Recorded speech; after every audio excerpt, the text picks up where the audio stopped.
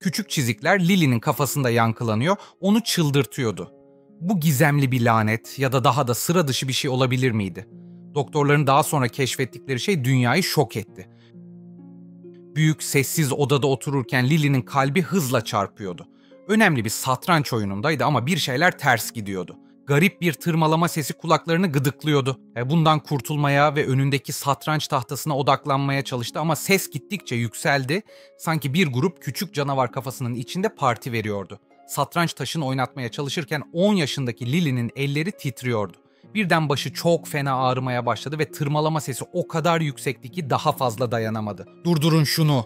Diye bağırarak etrafındaki herkesi korkuttu. Hiç düşünmeden sandalyesinden fırladı ve olabildiğince hızlı bir şekilde odadan dışarı koştu. Arkasında şaşkın bakışlarla dolu bir oda ve satranç şampiyonu olma hayalini bıraktı. Yaşıtı diğer çocuklar gibi değildi.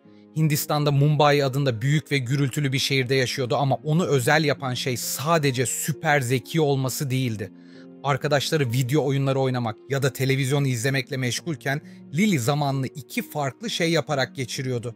Gerçekten zor satranç oyunları oynamak ve harika böcekler ve hayvanlar bulmak için evinin yakınındaki ormanı keşfetmek.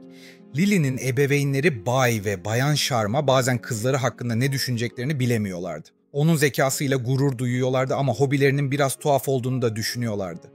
Bir dakika böceklerin tarihi hakkında saatlerce konuşup bir dakika sonra satrançta bir yetişkini yenebilen bir çocukla daha önce hiç karşılaşmamışlardı. Annesi sık sık endişeli bir ifadeyle Lili tatlım sence de iyi olacağın tek bir şey seçmenin zamanı gelmedi mi diye sorardı. Ama Lili kocaman gülümser ve şöyle derdi. Ama anne neden seçim yapayım ki? Dünyada öğrenilecek o kadar çok harika şey var ki. Lily'nin hayatı o büyük satranç oyununa kadar eğlence ve macera doluydu. Banyoda ellerini kulaklarına bastırarak saklanırken bunun evrenin ona yavaşlamasını söyleme şekli olup olmadığını merak etti. Tırmalama sesi bir türlü geçmiyordu. Sanki binlerce küçük ayak beyninin içinde yürüyor gibiydi. Babası Vikram sonunda onu bulup dışarı çıkmasını sağladığında Lily her zamanki mutlu ve kendinden emin hali değildi. Baba diye fısıldadı. Sesi titriyordu. Sanırım bende bir sorun var. Kafamın içinde bir şeyler duyuyorum. Vikram'ın yüzü bembeyaz kesildi. Ailelerinde sesler duymaktan bahsetmek hiç hoş karşılanmazdı. Bu ona son yıllarını orada olmayan ruhlarla konuşarak geçiren kendi büyük annesini hatırlattı. Derin bir nefes aldı ve Lily'nin omzunu sıvazladı. Muhtemelen büyük maç için gergin olduğundandır Beta. Hadi eve gidelim ve biraz dinlenelim. Vikram Lily'yi nazikçe banyodan çıkarıp satranç salonuna geri götürdü. Diğer oyuncular ve seyirciler Vikram'ın turnuva organizatörüne Lily'nin kendini iyi hissetmediğini ve yarışmadan çekilmesi gerektiğini açıklamasını endişeyle izlediler. Lily başını öne eğdi ve babası eşyalarını toplarken kimseyle göz teması kurmaktan kaçındı. Binadan çıktıklarında Vikram Lily'nin elini sıkıca tuttu. Mumbai'nin kalabalık caddeleri Lily'e daha gürültülü geliyor. Başındaki kaşıntıyı daha da dayanılmaz hale getiriyordu. Bir taksi çağırdılar ve sessizlik içinde eve dönerlerken Lily babasına yaslandı, gözlerini kapadı ve iyi bir gece uykusunun her şeyi daha iyi yapacağını umdu. Ama dinlenmek işe yaramadı. Günler haftalara dönüştü ve Lily'nin kafasındaki kaşıntı daha da arttı. Okula gitmeyi bıraktı çünkü tüm bu gürültü yüzünden dikkatini veremiyordu. Satranç taşları rafında tozlandı ve böcek koleksiyonunu tamamen unuttu. Lily'nin dünyası çok küçüldü. Zamanının çoğunu yatak odasında, yorganın altında saklanarak hiç bitmeyen sesten kaçmaya çalışarak geçiriyordu. Anita ve Vikram ne yapacaklarını bilmiyorlardı. Lily'ye yardım etmek için akıllarına gelen her şeyi denediler. Ona geleneksel Hint tıbbından özel bitkiler verdiler.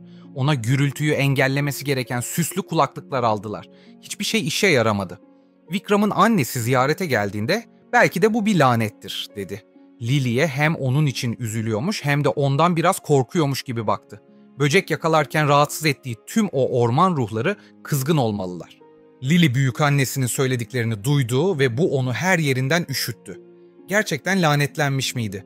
Doğayı keşfetme aşkı bir şekilde başına kötü bir şey gelmesine mi neden olmuştu? Bu fikir onu çok korkutuyordu. Ama beyninin bilimi seven küçük, çok küçük bir parçası ilgisini çekmeden edemiyordu. Eğer bu bir lanet ise nasıl işliyordu? Bunu mantıklı bir şekilde açıklamanın bir yolu var mıydı? Lily kendini gittikçe daha kötü hissederken ailesi eski yöntemlere mi inanacaklarını yoksa yeni cevaplar mı arayacaklarını bilemiyordu. Tüm Hindistan'ı dolaşarak kutsal adamları ve şifacıları ziyaret ettiler. Her biri Lily'yi iyileştirebileceklerine söz verdi ama hiçbiri bunu yapamadı. Lily, anne ve babasının yüzlerinin her başarısız denemede daha da yorgun ve üzgün hale gelmesini izledi. Kendini kötü hissediyordu. Sanki ailesinin artık mutlu olmaması onun suçuymuş gibi. Bir gece tırmalama sesi her zamankinden daha yüksek göründüğünde Lily büyük bir karar verdi. Anne, baba diye seslendi. Sesi pürüzlüydü çünkü günlerdir pek konuşmamıştı. Sanırım bir doktora görünmemiz gerek, gerçek bir doktora. Bu sözler onların toplumunda çok önemliydi. Batılı bir doktora gitmek genellikle pes etmek olarak görülüyordu. Ancak Anita ve Vikram eskiden hayat dolu olan ve şimdi çok üzgün ve sessiz olan kızlarına baktıklarında yardımcı olabilecek her şeyi denemeleri gerektiğini biliyorlardı. Ertesi sabah kendilerini bir bekleme odasında otururken buldular. Kulaklar, burunlar ve boğazlar hakkında her şeyi bilen ünlü bir doktor olan doktor. Mira Patel'i görmek için oradaydılar. Lily anne ve babasının arasına oturmuş, gergin olduğu için bacaklarını sallıyordu. Başındaki kaşıntı daha da artmış gibiydi. Sanki bu sesi çıkaran her kimse yakında yakalanacağını biliyordu. Dr. Petel Lily'nin kulaklarına dikkatle baktı. Lily'nin ona duyduğu sesleri anlatmasını dinledi. Hmm, dedi doktor. Biraz kafası karışmış görünüyordu. Daha yakından bakmak istiyorum. Burada garip bir şeyler oluyor ama henüz ne olduğundan emin değilim. Doktor hemen bir ÇT taraması ayarladı. Lily donut şeklindeki büyük makinenin içinde hareketsiz yatarken korktuğunu ama biraz da heyecanlandığını hissetti. Bir yanı yanlış bir şey bulamayacaklarından korkuyordu. Bu da ailesinin onun lanetli olduğunu daha da fazla düşünmesine neden olacaktı. Ama başka bir yanı da bu gizemi çözmek için sabırsızlanıyordu. Ailesi cam bir bölmenin arkasından endişeyle onu izlerken makine uğuldayarak ve vınlayarak başının ayrıntılı görüntülerini yakaladı.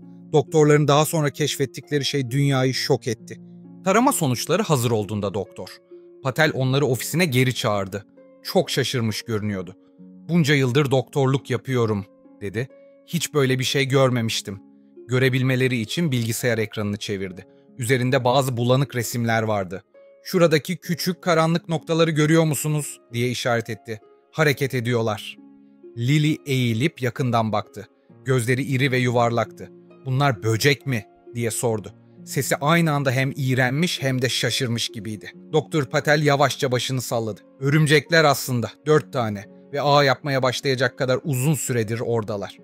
Odadaki herkes bunun ne anlama geldiğini anlamaya çalışırken sessizdi. Anita ağlamaya başladı ve Vikram'ın yüzü soldu. Ama Lili Lili uzun zamandır hissetmediği bir şey hissetti. Rahatlama. Bu bir lanet değildi. Hepsi onun kafasında değildi.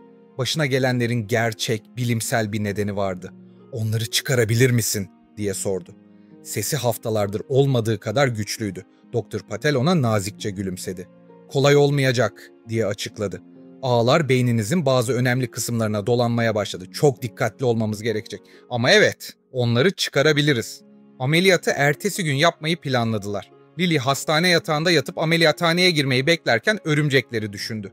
Kulağına nasıl girmişlerdi. Büyük satranç oyunundan önce ormanı en son ne zaman keşfettiğini hatırladı. Karıncaların yürüyüşünü izlemek için yere uzanmıştı. O zaman da örümcekler kulağına mı girmişti? İmkansız görünüyordu ama işte buradaydılar. Lily, annesinin sesi onu bir an için düşünmekten alıkoydu. Korkuyor musun? Lily bu soru hakkında düşündü. Korkuyor muydu? Belki biraz. Ama daha çok ilgilendiğini hissetti. Pek sayılmaz anne, dedi küçük bir gülümsemeyle. Aslında çok havalı bir şey. Sanki kafamın içinde kendi küçük böcek dünyam var. Ne kadar harika değil mi? Anita güldü ama Lily onun gözlerindeki yaşları görebiliyordu. Bunun harika olduğunu sadece sen düşünebilirsin. Benim küçük bilim adamım. Operasyon uzun sürdü. Doktor Patel ve ekibi çok dikkatli bir şekilde çalışarak her bir örümceği yavaşça çıkardılar ve oluşturdukları zorlu ağı çözdüler. Lily nihayet uyandığında ilk fark ettiği şey ne kadar sessiz olduğuydu. Artık tırmalamak yoktu. Sadece harika, mükemmel bir sessizlik. Lily'nin iyileşmesi biraz zaman aldı. Kafasının içinde sürekli bir gürültü olmadan dengede durmayı yeniden öğrenmesi gerekiyordu. Bazen başı dönüyor ya da kafası karışıyordu. Ama her gün biraz daha güçlendi. Satrancı yeniden sevmeye başladı ve eskisi gibi okulda çok çalıştı. Ama Lily de artık bir şeyler farklıydı. Tüm bu olanlardan sonra dünyayı yeni bir şekilde görüyordu.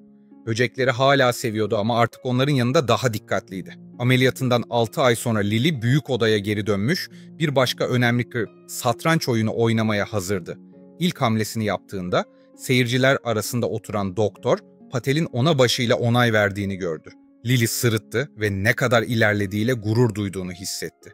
Artık kafasında örümcekler yoktu ama Lily olanları asla unutmayacağını biliyordu. Bu ona dünyanın çözülmeyi bekleyen gizemlerle dolu olduğunu ve bazen gerçeğin herhangi bir lanetin olabileceğinden daha garip ve ilginç olduğunu öğretmişti.